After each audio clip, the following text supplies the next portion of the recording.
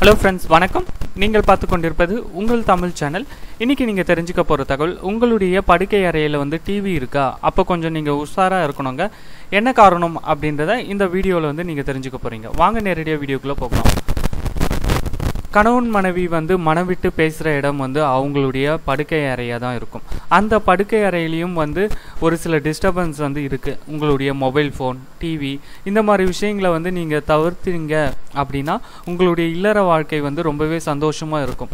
ஒரு ஆராய்ச்சியோட முடிவு என்ன சொல்லுது அப்படின்னு பார்த்தீங்கன்னா வந்து படுக்கை அறையில் வந்து தொலைக்காட்சி இருக்குது அப்படின்னா அது உங்களுக்கு ஒரு பெரிய தொல்லையாக இருக்கும் அப்படின்ற கருத்தை தான் வந்து நமக்கு வந்து தெரியப்படுத்துது. அதாவது வந்து நீங்கள் வந்து நாள் பூரா வந்து பல வேலைகளை வந்து செஞ்சுட்டு ரிலாக்ஸாக வந்து இருக்கிற இடம் உங்களுடைய படுக்கை அறை. அந்த இடத்துல வந்து நீங்கள் உங்கள் கணவன் கிட்ட வந்து மனம் விட்டு பேசுகிறதுக்கான ஒரு இடம். அந்த சமயத்தில் வந்து டிவியில் இருக்கிற ப்ரோக்ராமை வந்து பார்த்து டைம் பாஸ் பண்ணுறது உங்களுக்கு பிடிச்ச ப்ரோக்ராம் வந்து உங்களுக்கு உங்களுடைய கணவருக்கு வந்து பிடிக்காமல் இருக்கும். அவருக்கு பிடிச்சது உங்களுக்கு பிடிக்காமல் இருக்கும். ஸோ இந்த மாதிரி மாற்றி மாற்றி சாரி உங்களுடைய பொண்ணான நேரத்தை வந்து அந்த டிவி பார்க்குற ப்ரோக்ராம்ஸில் ஸ்பெண்ட் பண்ணுறப்போ உங்களுடைய நேரம் வந்து அங்கே வீணடிக்கப்படுது. நேரம் மட்டுமல்ல உங்களுடைய இல்லற வாழ்க்கையோட நிமிடங்களும் வந்து அங்கே வே வேஸ்ட் ஆகுது. அதை வந்து பல பேர் வந்து உணர்றது இல்லை.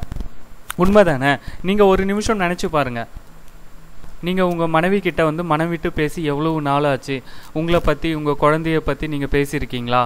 அப்படின்றது. நமக்கு வந்து ஃபேஸ்புக் வாட்ஸ்அப்பில் டைம் ஸ்பெண்ட் பண்ணுறதே வந்து நேரம் சரியாகுது. அது மட்டும் இல்லாமல் வந்து படுக்கை அறையிலையும் வந்து டிவி பார்த்துட்டு இருந்தோம் அப்படின்னா அது மிகப்பெரிய பிரச்சனைகளை வந்து உங்களுடைய வாழ்க்கையில் வந்து ஏற்படுத்திடும். அதுவும் இப்போ இருக்கிற காலகட்டத்தில் பார்த்திங்கன்னா வந்து ஆணாக இருந்தாலும் சரி பெண்ணாக இருந்தாலும் சரி ஒரு பரபரப்பான சூழ்நிலையில் தான் வந்து வாழ்க்கை வந்து போயிட்டு இருக்குது எதையோ நோக்கி போயிட்டு இருக்கும் பணம் சம்பாதிச்சா போதும் அப்படின்ற ஒரு குறிக்கோளை நோக்கி மட்டும் வந்து வாழ்க்கை பயணம் வந்து போயிட்டு இருக்குது அந்த வாழ்க்கை பயணத்தோட சுவாரஸ்யங்களை வந்து நம்ம அனுபவிக்கிறோமா அப்படின்றது ஒரு மிகப்பெரிய கேள்விக்குறி தான் ஸோ பணம் ஓகே பணம் சம்பாதிச்சு சந்தோஷமாக இருக்கணும் அப்படின்றதுக்காக தான் வந்து பணம் சம்பாதிக்கிறோம். சந்தோஷங்கள்லேயே பெரிய சந்தோஷம் தாம்பாத்திய சந்தோஷம். உண்மை தானே அனுபவிச்சவங்களுக்கு தெரியும்.